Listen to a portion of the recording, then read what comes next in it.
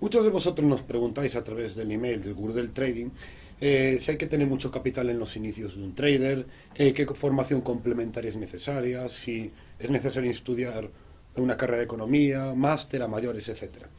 Eh, para ello vamos a intentar solucionar vuestras dudas comentando mi experiencia.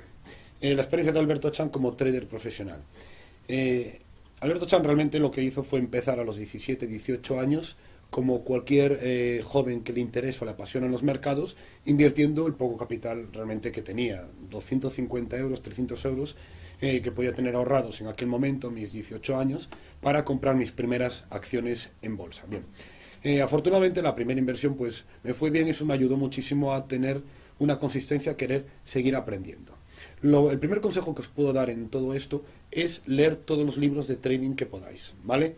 la información al principio es necesario tener muchísima información para luego quedarnos con el 10% de lo que nos sea útil. Aparte de esto, eh, también dentro de mi experiencia os quiero comentar que el proceso de ser trader es un proceso duro.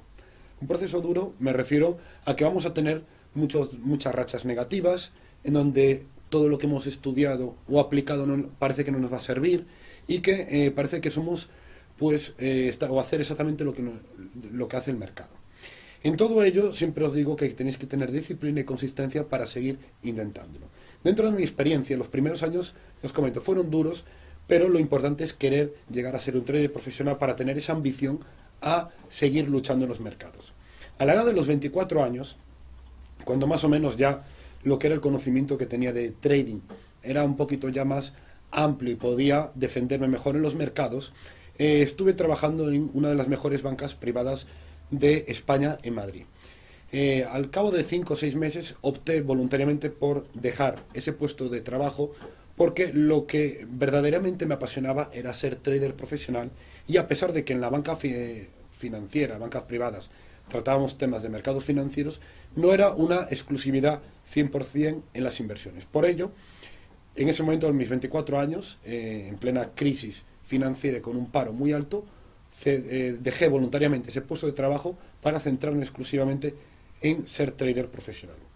Meses después me ofrecieron eh, un puesto como profesor de un máster de banca y mercados financieros, en el cual después de impartir unas clases vi que también eh, no era lo que verdaderamente quería. Y también volví a ceder ese puesto para dedicarme a lo que hoy soy en el día a día, un trader profesional.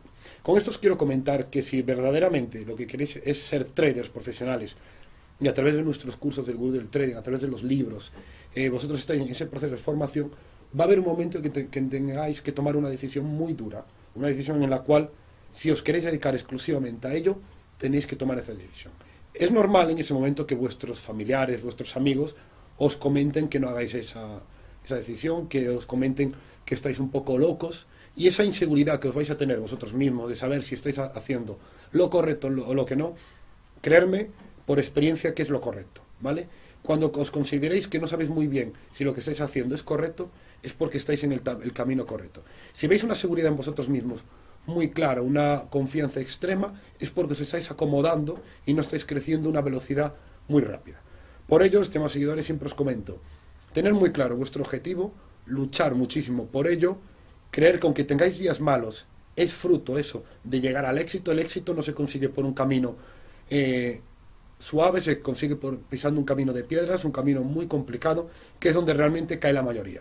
Recordar que el éxito o el fracaso no es fruto de vuestro conocimiento, sino es fruto de quien se para. Quien se para va a tener fracaso y quien sigue, aunque fracase muchas veces, siempre alcanzará el éxito. Esto lo podemos extrapolar a cualquier tipo de ámbito. Al ámbito empresarial, ejemplo de Steve Jobs, tuvo muchos fracasos en, sus inicios, ejemplo de Amancio Ortega, tuvo también muchos fracasos en sus primeras tiendas, pero no por ello lo rechazó, sino que a mayores, una persona exitosa es aquella que en un fracaso se viene arriba, en un fracaso gana fuerza de voluntad y consigue aprender de esos errores y olvidaros especialmente de todas aquellas personas que no han conseguido lo que vosotros queréis conseguir y que os van a decir que no lo podéis hacer, ¿vale?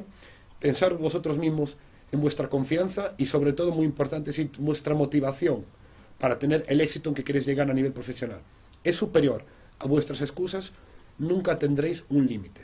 Así que con ello, con esta experiencia personal, quisimos llegar a, todos vosotros y espero que esta experiencia os ayude a muchos eh, traders que estáis iniciando, tanto personas de 20, 30, 50 años, etcétera, que si os ponéis ese objetivo, creer que es posible hacerlo si eh, verdaderamente lo queréis.